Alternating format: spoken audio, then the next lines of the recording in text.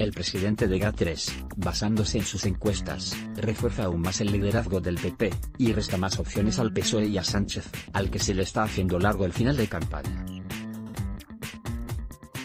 Entramos oficialmente en la última semana de campaña para el 23 julio si todos los partidos queman sus naves. Alberto Núñez Feijo sigue concentrado en lograr una mayoría absoluta en solitario que se antoja difícil pero no imposible. Pedro Sánchez apura su relato de remontada, y de no darse por vencido a pesar de que todos los indicadores dicen lo contrario.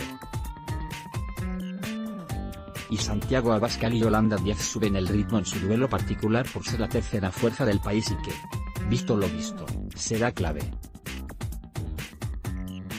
Mientras se abren los colegios para acudir a las urnas, las encuestas es a lo único que nos podemos agarrar para hacernos una idea. Una de las mayores empresas demoscópicas de nuestro país es GAL3 y Narciso Michavila es su presidente. De un tiempo a esta parte podemos decir que se ha convertido en uno de los azotes de Sánchez, ya que sus encuestas suelen estar bastante más cerca de la realidad que el querido y transparente CIS de Tezanos. Michavila ha estado con Carlos Herrera para analizar cómo está la situación, según los datos que él maneja, y no augura un buen resultado para el bloque de la izquierda.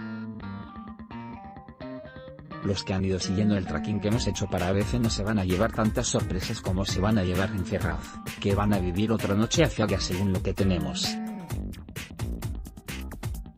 Ha expresado Michavila al presentador de COPE, al que también ha afirmado que se va a batir récord de participación a mediodía, a pesar de la fecha. No para de subir.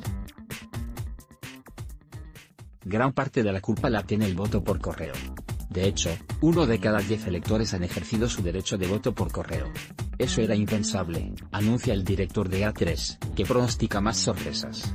Concretamente, en territorios como Cataluña, estad muy atentos. Respecto a la posible mayoría absoluta del PP, Michavila no puede asegurarla pero sí que se atreve a vaticinar la mayoría absoluta del bloque de la derecha. La duda que tiene Michavila es si la derecha va a vivir la maldición de la coalición, y se enreden como está pasando en Murcia o ha pasado en Extremadura. Esa es la gran esperanza de Sánchez. Que el PP se quede en 140 escaños y que todo se alargue. Sobre los votos por correo. Michavila confía en que van a llegar todos los votos por correos. Ahora mismo ha votado tanta gente, y hemos hecho tantas entrevistas que podemos decir que la derecha le está sacando 12 puntos a sus rivales en el voto por correo, ha explicado el máximo representante de GAT3. Eso sí, augura que muchos españoles dejarán para el final el ir a votar, se irán de fin de semana, y que los grandes atascos de entrada a las grandes ciudades provoque que se quede mucha gente sin votar. Aquí puedes ver la entrevista completa de Carlos Herrera a Najiso Michavila sobre los pronósticos de las elecciones.